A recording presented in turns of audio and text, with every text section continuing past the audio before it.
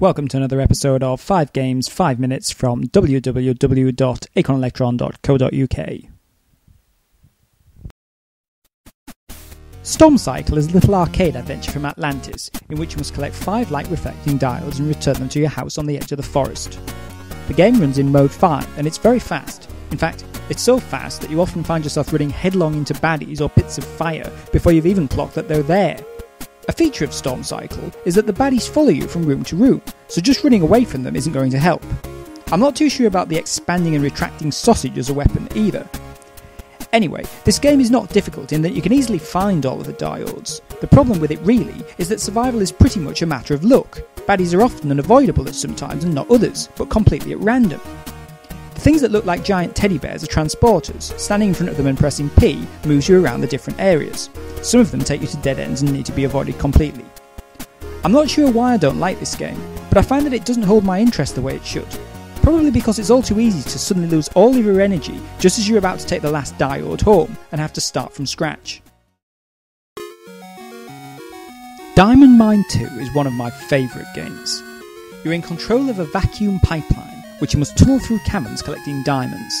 You mustn't double back on yourself, and the pipeline has a fixed length. This means you need to retract it and approach some diamonds via alternative cavern. Inside the caverns are a bunch of mutant eyeballs. If they collide with the expanded pipeline, you lose a life. However, if you run headlong into them, they immediately disappear. Immediately disappear, but only for about a minute. The game requires quite a lot of concentration. If a mutant eyeball appears at the top of the screen whilst you're at the bottom, you must quickly retract the pipeline to deal with it. There's one more variable to deal with. Dymo, your assistant who merrily pumps the motor that powers the pipe. He only has a finite amount of energy, so you mustn't hang around. It's a simple idea executed perfectly, and it has that just one more go pull to it. I love it. Alright, this next offering isn't a game. It's a selection of games and demos from the late BBC PD library, called the Sicksoft Collection. Bones is a demo that most Electron owners will have seen before. What exactly is going on is anyone's guess. Dancing skeletons doing their thing in glorious monochrome for two minutes or so. Bones 2 Day and Night is a continuation of the same, this time in colour, with three skeletons and a bit of machine code thrown in for good measure. Nutter is a little basic game, puts you in charge of Adolf Hitler headbutting falling bombs out of the sky. It's in black and white, and the gameplay isn't exactly demanding stuff, but it's a bit risque for all that, and it's nice to find some demo stuff that takes a bit of a risk with the subject matter. Yosser is apparently based on a Northeastern miniseries called The Boys from the Blackstuff, which was, regrettably, before my time.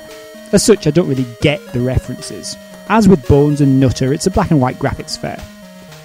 Only had time to get through four there, so we might be back for some more from Sicksoft later in time. Is a falling blocks game, which was destined to be released by Superior Acornsoft. It was completed, but didn't make it out of the office because the market for Electron games had dried up by that time.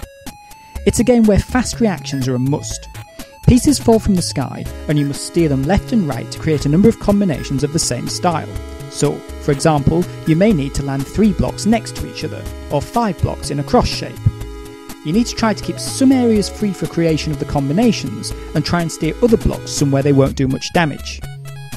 The game contains 100 levels and has a code facility, meaning once you have completed them once, if you take a note of the code, you can come straight back to the game and pick up where you left off. The action is smooth, and the game itself is quite a challenge, even though it appears at first sight to be quite simplistic. The two player option, however, is rather redundant. Nightworld. Some people might think it's unfair to review a game that I can only get to screen 3 in, but to them I say, right, let's see you get any further. Ahem. So, the premise is. Well, well, exactly what is the premise? The instructions are less than helpful, droning on about how you'll turn into a gargoyle when the sun goes down. Well, whoopee! And what exactly do I do when I turn into a gargoyle? Aha, say the instructions. That's for you to work out.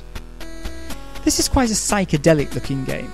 I'd go so far as to say there isn't a single other Acorn Electron game that looks anything like it. Colours, sounds, and weirdness are here in abundance. Unfortunately, playability is lousy.